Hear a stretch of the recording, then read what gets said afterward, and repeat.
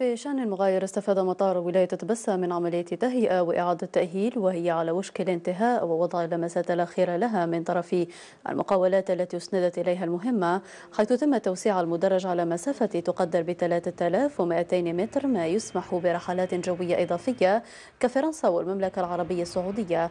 هذا وستسمح العملية التي استفاد منها المطار بزيادة عدد المسافرين إلى 400 ألف في السنة وكذا استقبال رحلات لطائرات كبيرة مثل البوينغ أكثر تفاصيل في ميكروفون سليم دريد.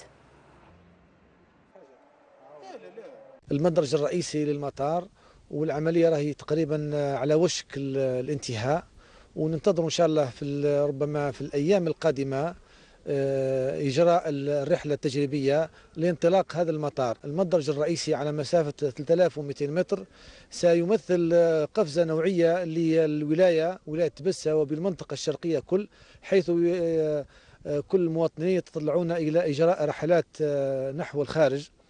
وطبعا المدرج الرئيسي منجز وفق الاحتياجات الأساسية وهي استقبال طائرات من نوع بوينغ 737 800 بحيث يقدر يستوعب حوالي 400 ألف سائح أو مسافر في السنة.